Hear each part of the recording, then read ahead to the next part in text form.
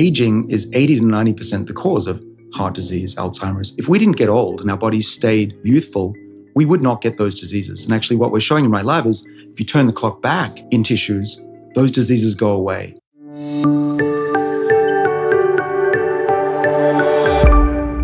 There are a couple of things. One is we want to slow aging down so we don't get those diseases.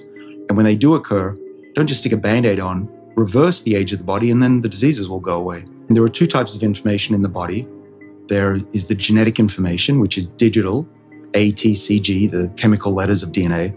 But there's this other part of the information in the body that's just as important. It's essential, in fact, and that's the systems that control which genes are switched on and off, in what cell, at what time, in response to what we eat, etc. And it turns out that 80% of our future longevity and health is controlled by this second part, the epigenetic information, the control systems. There are studies that show that the slower you take to develop, it also is predictive of having a longer, healthier life. You look at who lives the longest, it's the really small people.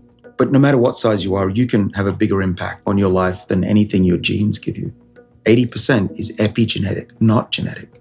Let's start with what I think was a big mistake was the idea that people should never be hungry. We live in a world now where there's at least 3 meals a day.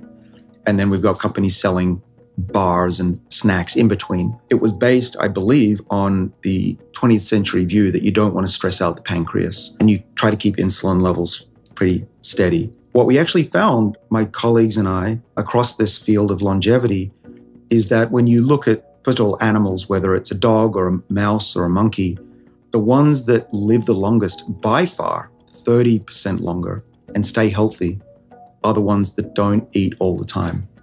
Um, it actually was first discovered back in the early 20th century, but people ignored it. And then it was rediscovered in the 1930s. Clive McCay did caloric restriction. He put cellulose in the food of rats so they couldn't get as many calories even though they ate. And those rats lived 30% longer.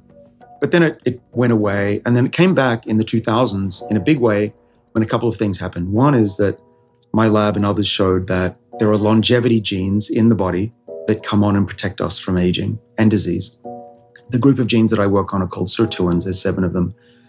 And we showed in 2005 in a science paper that if you have low levels of insulin and another molecule called insulin like growth factor, those low levels turn on the longevity genes.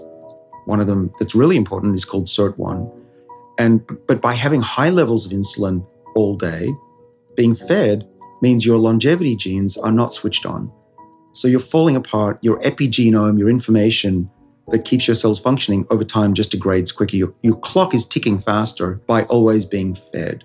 The other thing that I think might be happening by always having food around is that it's not allowing the cell to have periods of rest and reestablish the epigenome. And so it also is accelerating in that direction. There's plenty of other reasons as well that are not as profound, such as having low levels of glucose in your body will trigger your major muscles and your brain to become more sensitive to insulin and suck the glucose out of your bloodstream, which is very good. You don't want to have glucose flowing around too much. And that will ward off type 2 diabetes. There's a really interesting experiment that was published maybe a couple of years ago by Rafael de Cabo down at the NIH. What he did was he took over 10,000 mice and gave them different combinations of fat, carbohydrate, protein, and he was trying to figure out what was the best combination. And then he also cleverly had two groups one that was fed all the time, as much as they wanted, and the other group was only given food for an hour a day. And it turns out they ate roughly the same amount of calories, because of course, in an hour, they're stuffing their faces. It turns out it didn't matter what diet he gave them, it was only the group that ate within that window that lived longer and dramatically longer. So, my conclusion is, and mice are very similar to us metabolically, I think that tells us that it's not as important what you eat, it's when you eat during the day. Definitely try to skip a meal a day. That's the best thing. I skip breakfast. I'm just keeping myself filled with liquids, and so I don't feel hungry. Beware that the first two to three weeks when you try that, you will feel hungry, and you also have a habit of wanting to chew on something. There's a lot of physical parts to it. But try to make it through the first three weeks and do without breakfast or do without dinner. You'll get through it. And I did that for most of my life, actually mainly because I wasn't hungry in the morning. Some people are very hungry in the morning and they may want to consider skipping dinner instead. But I will go throughout the whole day I don't get the crashes of the high glucose and the low glucose. Anyone who goes, oh man, it's three o'clock, I'm going to need a sleep. If you do what I do, you will not experience that anymore. Because what my body does, it regulates blood sugar levels naturally. My liver is putting out glucose when it needs to, and it's very steady and gives me pure focus throughout the day. And I don't even have to think about lunch, I'm just powering through. At dinner, I, mean, I love food as much as anybody. So I will eat a regular, pretty healthy meal. I'll eat, I'll try to eat mostly vegetables. I can eat some fish, some shrimp. I rarely will eat a steak. In fact, my microbiome is so adapted to my diet. Now, if I eat a steak, it will not get digested very well. I'll feel terrible. I rarely eat dessert. I gave up dessert and sugar when I turned 40. And um, occasionally I'll steal a bit of dessert because it doesn't hurt if you steal it, right? But other than that, I avoid sugar, which includes simple carbohydrates, bread, I try to avoid. I've actually noticed I don't get plaque anymore. And I think it's because of my diet. I don't have those sugars in my mouth that the bacteria feed on and then form the biofilm on the teeth. Much better breath, by the way.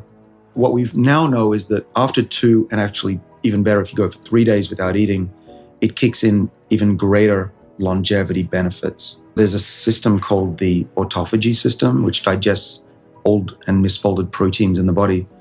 And there's a natural cleansing that happens when you're hungry. Macroautophagy, its name is. A deep cleanse called the chaperone mediated autophagy, which kicks in day two, day three, which really gets rid of the deep proteins. If you trigger this process in an old mouse, it lives 35% longer.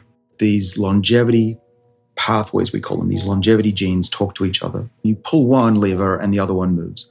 And the way to think of it is that there are systems set up to detect what you're eating. So the sirtuins will mainly respond to sugar and insulin. And then there's this other system called mTOR, which is sensing how much protein or amino acids are coming into your body. And they talk to each other. We can pull one and affect the other and vice versa. But together, when you're fasting, you'll get the sirtuin activation, which is good for you. And you'll also, through lack of amino acids, particularly three of them, leucine, isoleucine, valine, the body will downregulate mTOR. And it's that up sirtuin, down mTOR that is hugely beneficial and turns on all of the body's defenses, chewing up the old proteins, improving insulin sensitivity, giving us more energy, repairing cells, all of that. And so these two pathways, I think, are the most important for longevity.